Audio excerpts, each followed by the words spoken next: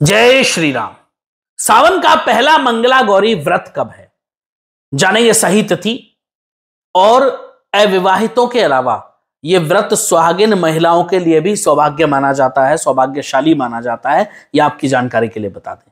सावन के मंगलवार को मंगला गौरी व्रत मनाया जाता है और यह व्रत मंगलवार होने के कारण ही मंगला गौरी व्रत के नाम से भी जाना जाता है।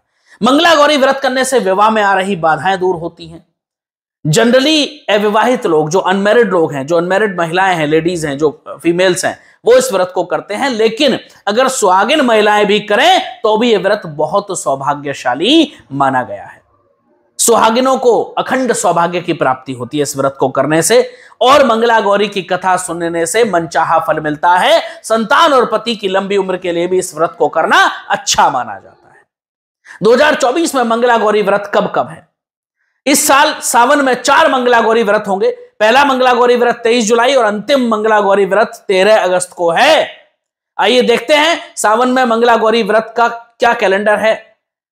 पहला जो व्रत होगा मंगला गौरी व्रत, वो तेईस जुलाई को होगा। दूसरा मंगला गौरी व्रत तीस जुलाई को होगा।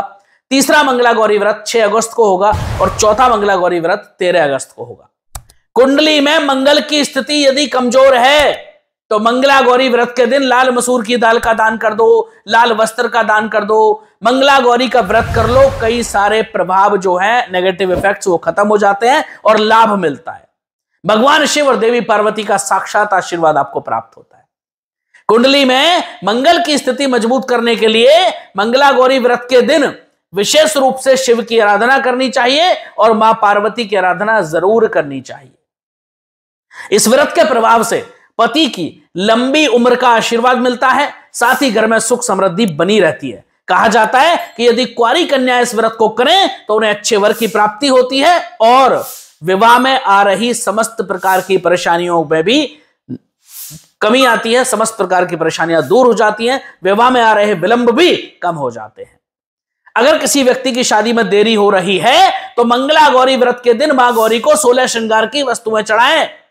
इससे माँ गौरी प्रसन्न होती हैं और अपनी कृपा उस जातक पर अवश्य बरसाती है।